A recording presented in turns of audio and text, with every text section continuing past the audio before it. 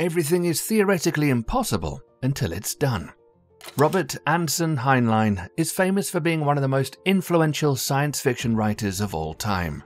He wrote a large number of novels, short stories, and essays that explored themes such as politics, social issues, and technology.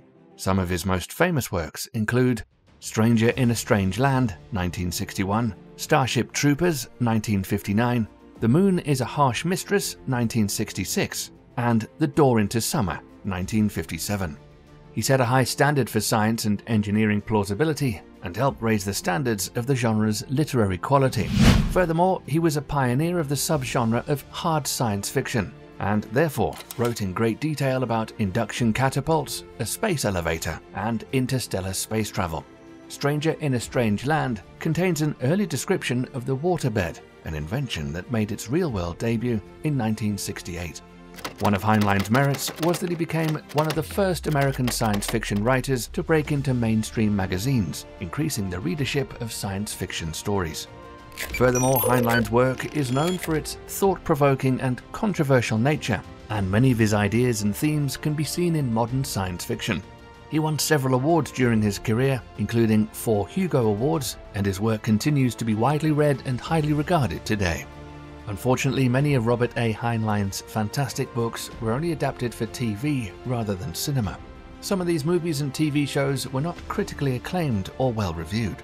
Only Starship Troopers and The Puppet Masters were adapted for the big screen, and the science fiction movie Destination Moon from 1950 was only loosely based on Heinlein's work, an issue that happened more than once.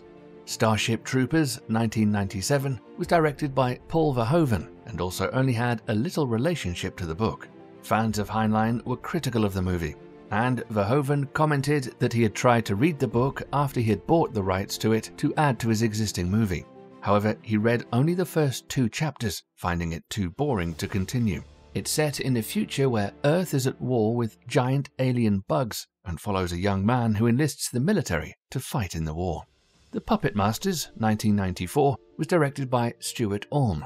It's set in a future where Earth has been invaded by parasitic aliens that have taken control of human bodies and follows a team of government agents who must stop the invasion. Other great stories like The Moon is a Harsh Mistress, 2000, Stranger in a Strange Land, 1991, and The Door into Summer, 1973, were only film adaptations for TV with small budgets. That's why they're almost forgotten about today. Heinlein was born in Missouri in 1907 and was a sixth generation German American. The family could not afford to send Heinlein to college, so he sought an appointment to a military academy. In 1929, he graduated from the Naval Academy with the equivalent of a Bachelor of Arts in Engineering. After his discharge, Heinlein attended a few weeks of graduate classes in mathematics and physics at the University of California, Los Angeles, UCLA, but he soon quit.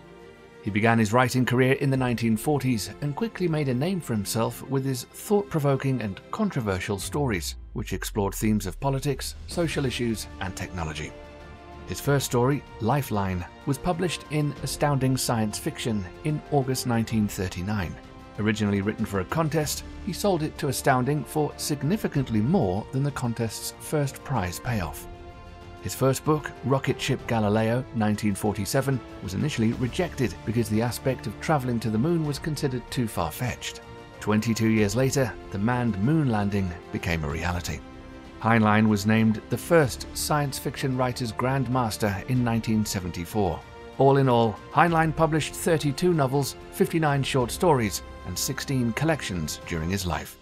He died in his sleep from emphysema and heart failure on May 8, 1988.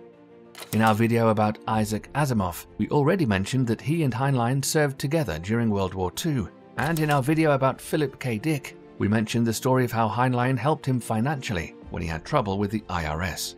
Therefore, it's safe to say that Heinlein was a mentor to others and was generous in his help. This is also reflected in the Heinlein Society, which, among other things, presents the Heinlein Award for outstanding works in science fiction and technical writings that inspire the human exploration of space. Thank you for your attention. Who is your favorite science fiction author? Write them in the comments.